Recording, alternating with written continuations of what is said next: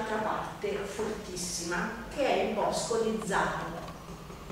Io non voglio dire che c'è la Madonna, io non, non voglio dire questo, anche se lo dico. Però a Zaro c'è sicuramente una, una, vibrazione, una spiritualità, c'è cioè qualcosa che a me mi ha cambiato la vita io sono stata a Zaro qualche anno fa con la mia cagnolina e la mia cagnolina, io non l'ho vista, la mia cagnolina ha visto la Madonna.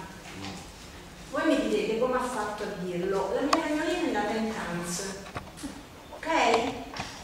A un certo punto mi si è messa sulle, sulle gambe e fissava un punto che era il punto che fissavano anche le veggenti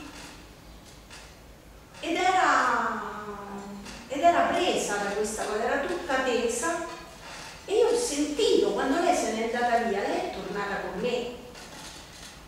Quando è finita tutta questa manifestazione religiosa, io mi sono avvicinata a queste ragazze e ho detto loro l'esperienza che avevo vissuto, perché guardate anche per me è stato forte sentire questo animaletto comportarsi in una maniera così diversa dal solito e mi ha, fatto, mi ha fatto avvertire proprio il bosco, io sentivo, non lo so, era come se io facessi parte di quel luogo e ho detto loro quello che la mia cagnolina secondo me aveva vissuto e loro mi hanno detto ma è normale perché il cagnolino comunque è un essere spiritualmente alto, buono, che non ha peccati e quindi perché no? La donna ha scelto di farsi vedere da lei piuttosto che da un'altra persona.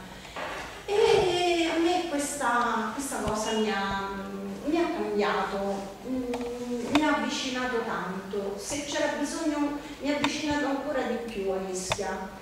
E io quando vengo a Ischia di solito riesco sempre a fare un salto a, a, a Zaro perché mi sento avvicinata spiritualmente alla mia cagnolina che non c'è più. Io penso che lei sia lì intorno perché aspetta la Madonna che scende.